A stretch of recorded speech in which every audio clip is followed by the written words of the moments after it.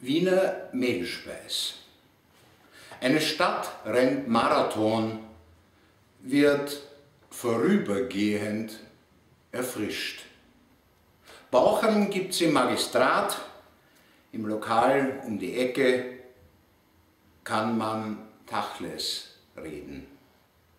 Für die Bettstadt hippes Blut auf Leintücher gespritzt, gewohnt wird im Gasometer und Abbruch überall, auch in Praxen, vor denen Betweiber patrouillieren.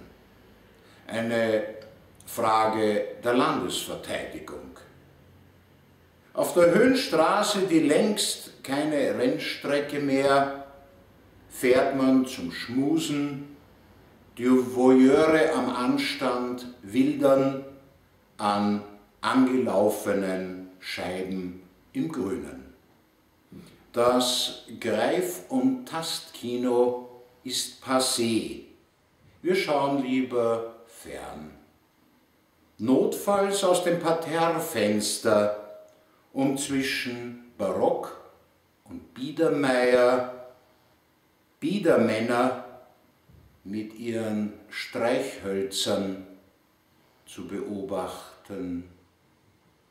Staubzucker gibt's für die süßen Seiten von Wien, die aus Staub der Vergangenheit und ranzigem Sirup bestehen. Leicht geschüttelt, überdeckt, alles weiß.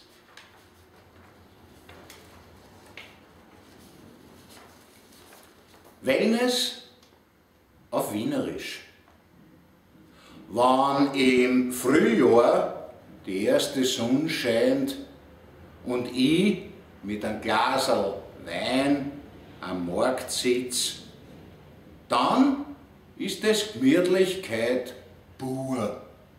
Und rundum können wir alle den Bugel runterrutschen.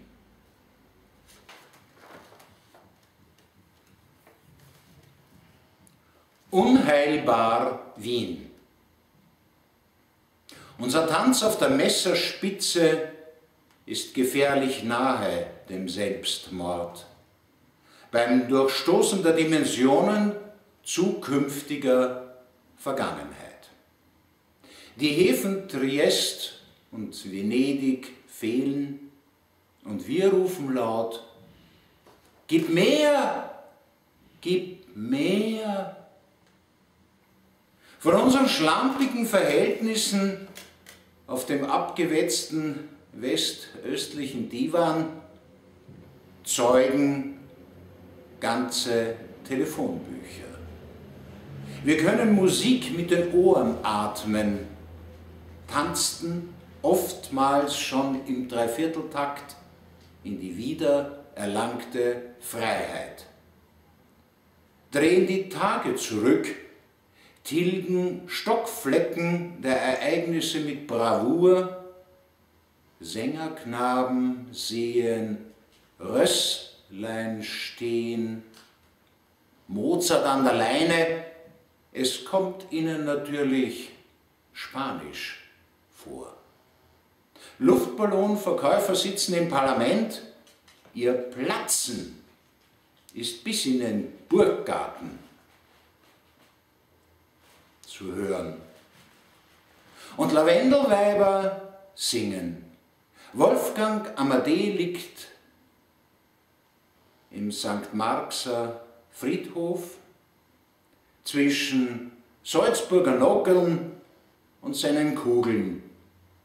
Im Broder stinkt wieder der Bärloch.